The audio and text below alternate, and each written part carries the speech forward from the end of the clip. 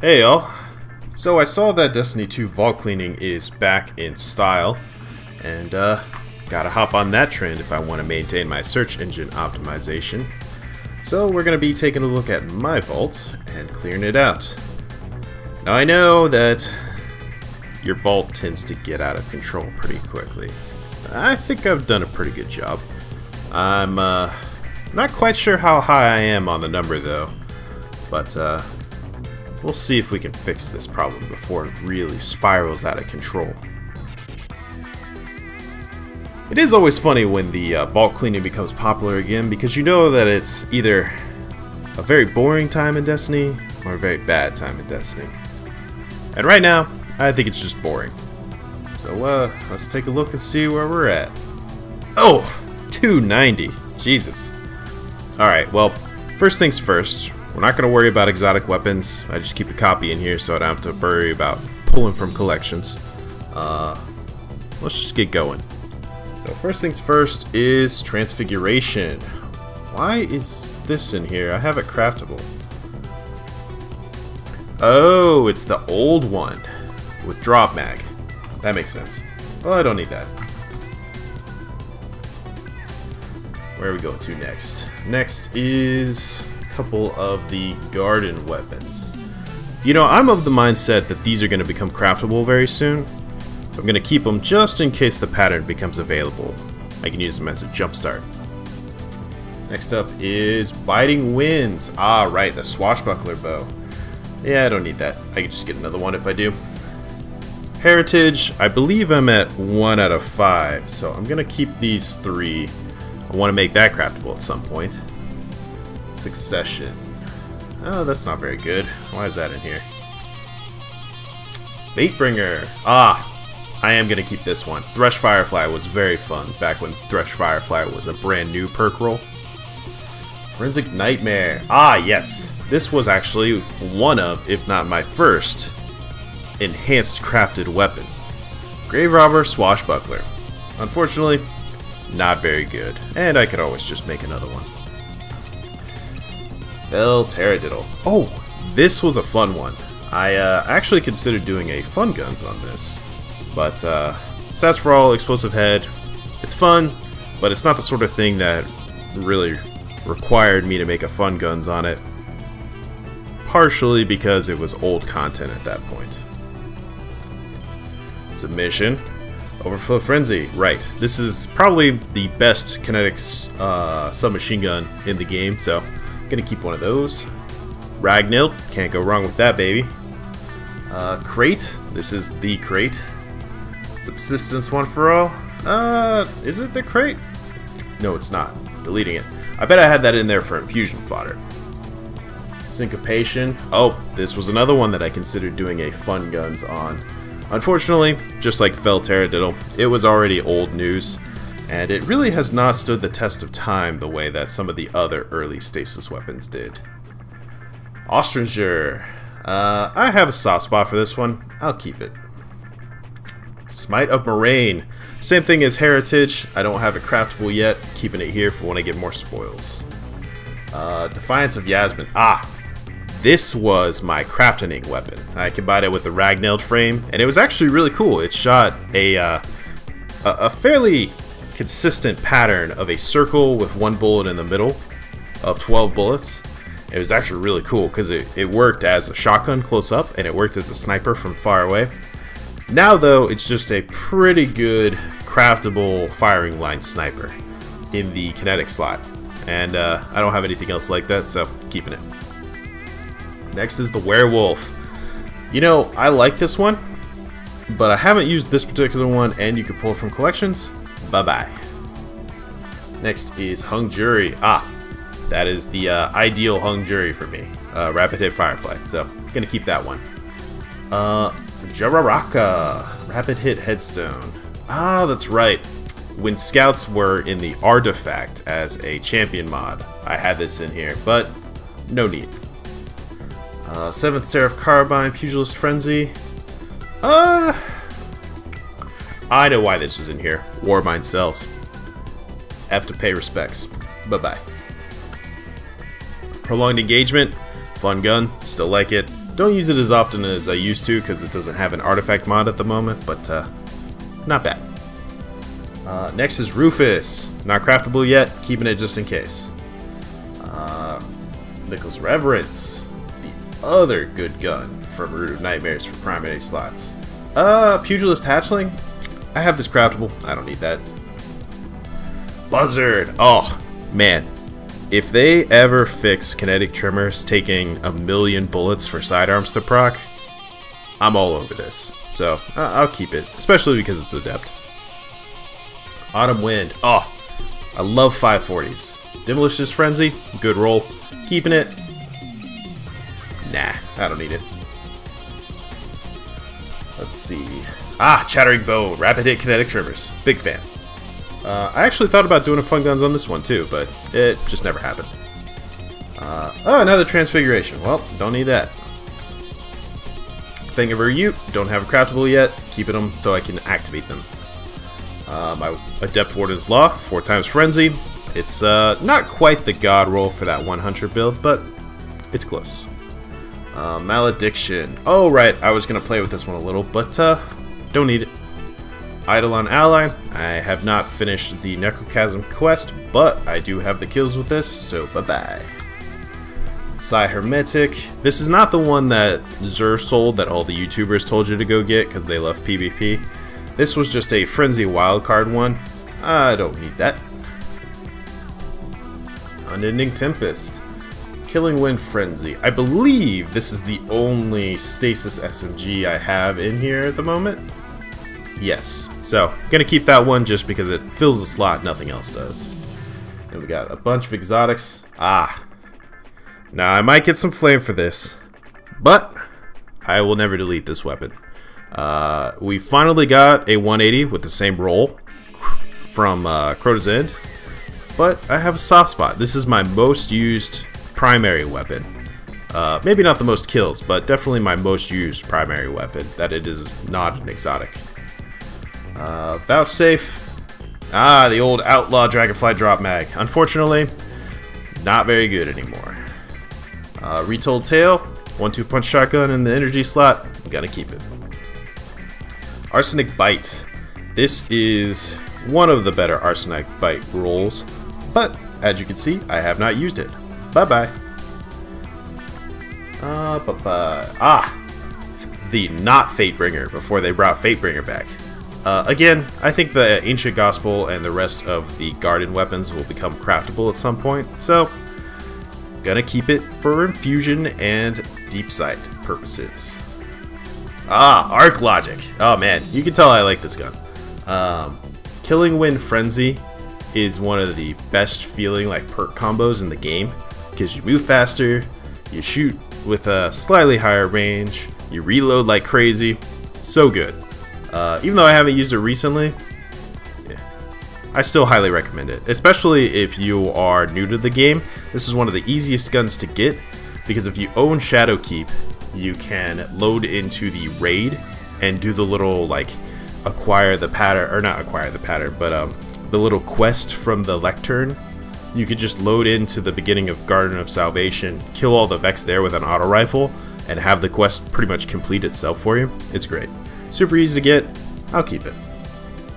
Uh, ah, Timeline's Vertex. You know, we don't see these perks very often anymore. Shield Disorient and Disruption Break. I had this in here when Match Game was a thing, but Match Game's no longer a thing. Next up is Coriolis Force. Ah, this one is the only aggressive frame fusion rifle, and unfortunately, it sucks. It's also easy to farm. Uh, don't have a craftable yet. Same thing for Trusty. And then I actually have a decent Trusty that I've kept in here in case I feel like using it. Uh, Death Adder. Eh, I don't need it. Grid Skipper. Ah, fun one. Uh, it's a 540. It's void. It's actually very good. It's held. It's held up, even though it doesn't have a uh, what you call origin trait. I will keep this one. Sojourner's Tale. Rapid Hit Dragonfly. This was a funny weapon, and uh, it was obviously before I did any YouTube stuff, but don't need it. Vision of Confluence. This is a good one. Might become craftable at some point, gonna keep it. Same thing for Found Verdict, plus this is a really good 1-2 punch shotgun. In fact, considering that that's a 1-2 punch shotgun, let's get rid of that retold tale. Next is Plug 1. Unfortunately, Plug 1 has been completely power crept. Bye-bye. Uh, ooh, the RR4. This is a fun one because it's an aggressive, but thanks to Adept Big Ones, you can go for the Extended Mag, Bottomless Grief, and High Impact Reserves roll. You get 7 in the magazine. It doesn't take forever to reload, but it's like one of the most consistent aggressive frame snipers in terms of just doing damage and not having to reload all the time because most aggressive frame snipers have like three shots. This one's like, oh, seven, easy. Uh, Battler, highly recommend. Everybody should get that weapon. Uh, the Enigma, unfortunately, I don't use glaives anymore. Bye-bye. God, that took forever. Uh, explosive personality, big fan of this one. Land tank is a horribly underestimated trait for uh, the origin slot. Uh, under your skin, this one I have not been as fond of. I do like explosive head on my bows, but no need for that. Uh, Lubrae's Ruin. Have a craftable. I don't like this crafted roll. I don't like glaives in general. Bye-bye. Forbearance. Uh, I'm not even going to bother to say anything. Keeping that. Insidious. One of the OGs. The second fun gun I ever did. Gotta keep that. Uh. You know, I wanted to like Ogma a lot more than I actually did. And in fact, the sound of it shooting is one of my favorite sounding guns in the game. I think I'll keep it just for that. And then, this is the funnel web after funnel web fell out of style, but it's better than the one I had, so that's why I had zero kills on it. Uh, gonna keep that one, because you can never go wrong with a Void SMG. Uh, Hollow Denial, still like this one, very fun, especially on that Volatile Titan build I did a while ago. Uh, Without Remorse, this one has held up okay. Um, now that I can level up for free, I'll probably keep it just so I can make it into that one um, stats for all incandescent roll I mentioned in one of the fun guns way back when. Um, it, it's an alright one, but even if I do that, I don't need to keep it in here, so bye bye. Alright, Horror's Least. Now this one is an interesting case. You know, they used to have Horror's Least with Zen Moment Dragonfly before they did all the sunsetting stuff, and I really loved that gun. This one, however, I don't like as much. Next up is Midha. Don't have a craftable yet.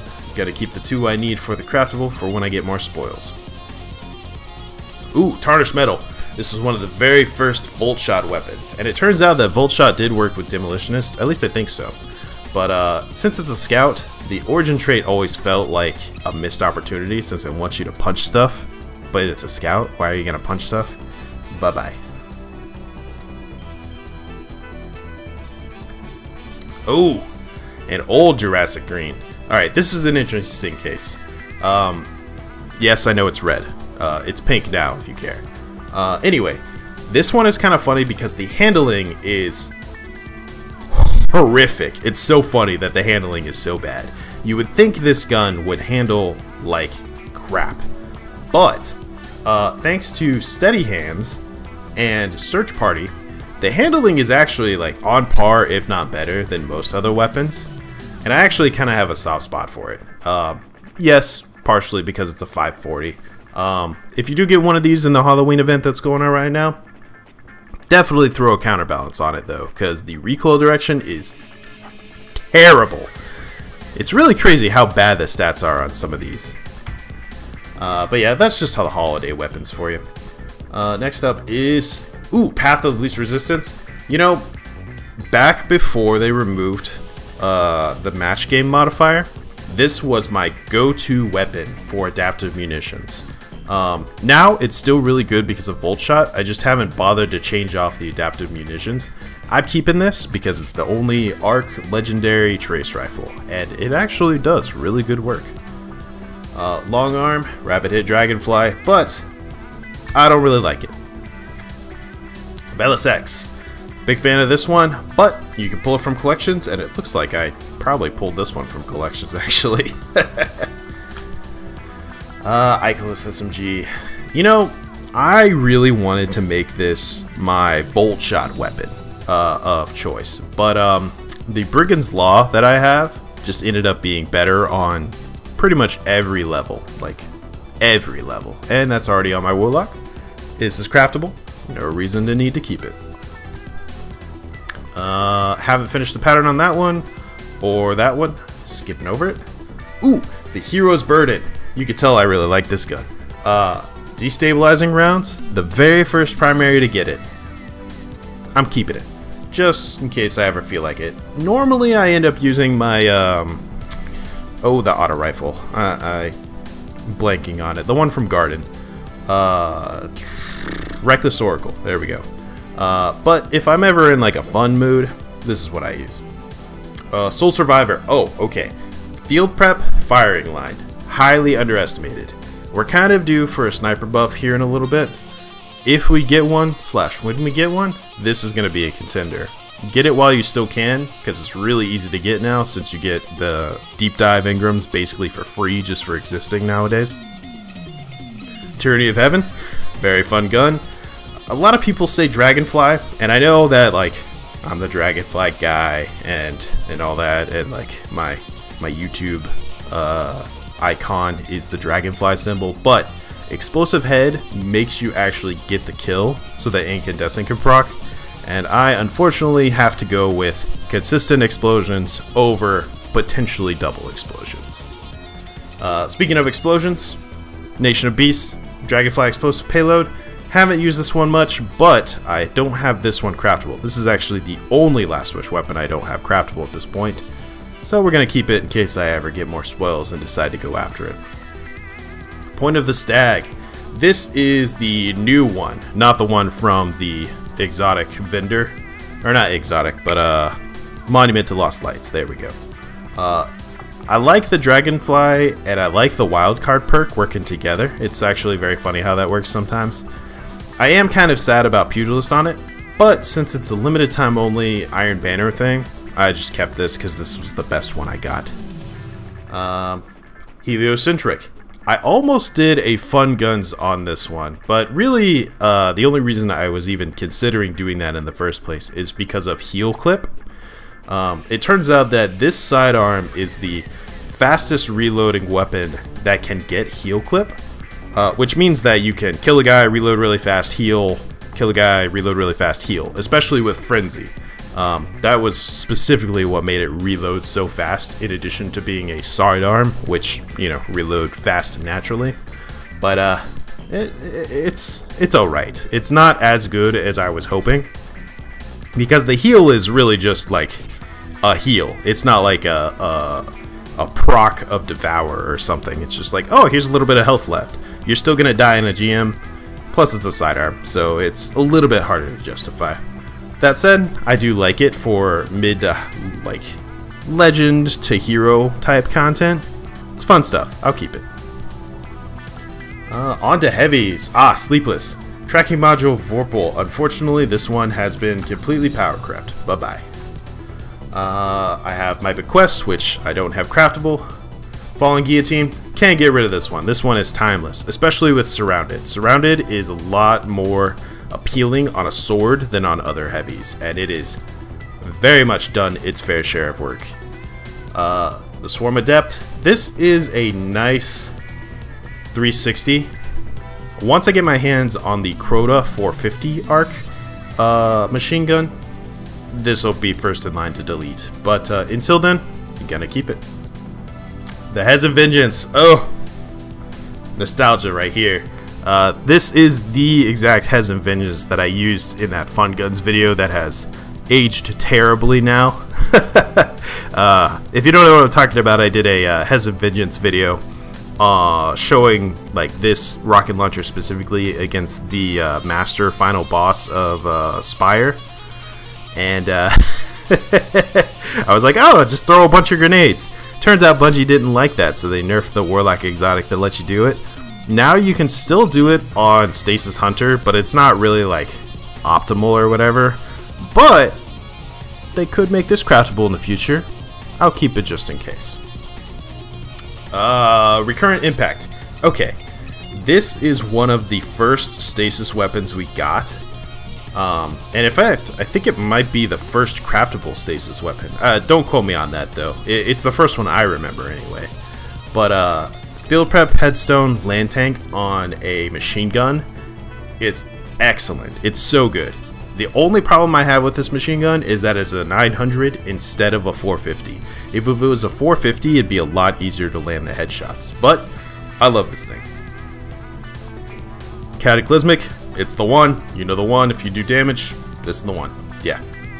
Uh, Typhon. Okay, if they buff grenade launchers, Demolition's Explosive Light Typhon is going to be up there.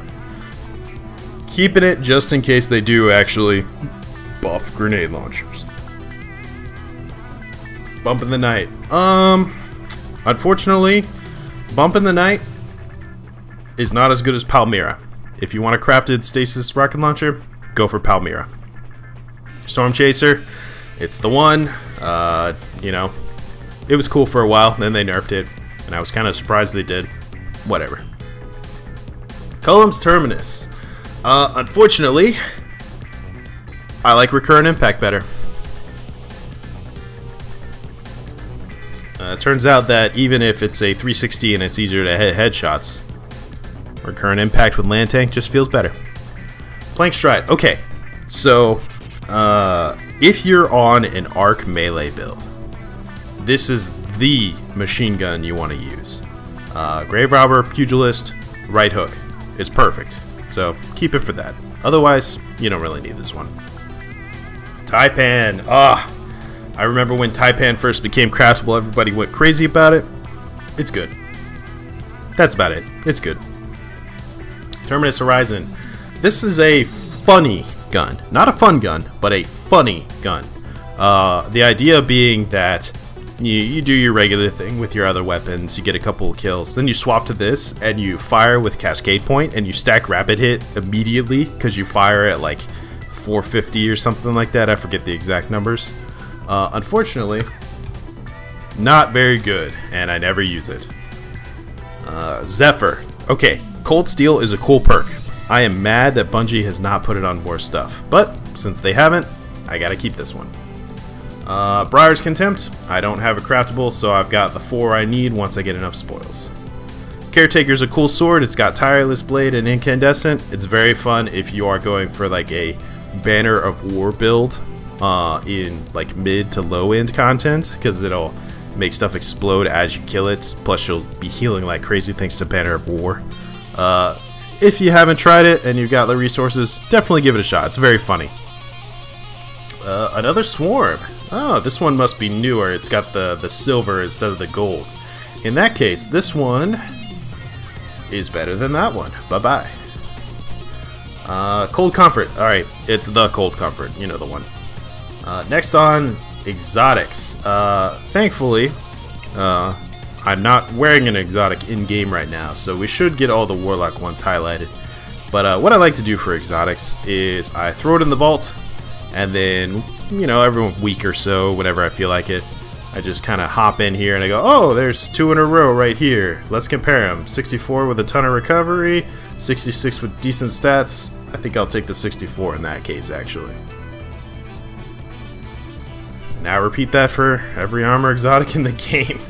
Uh, as you can see, I've got pretty much one of each, and I don't really keep legendary armor all that often, except for Warlock, since that's kind of the main that I use, but uh, I'm only really worried about if I have more than one copy of an exotic piece, and uh, it looks like I don't, which means that uh, we're done. Anyway, that was me vault cleaning. It's not that hard. See ya.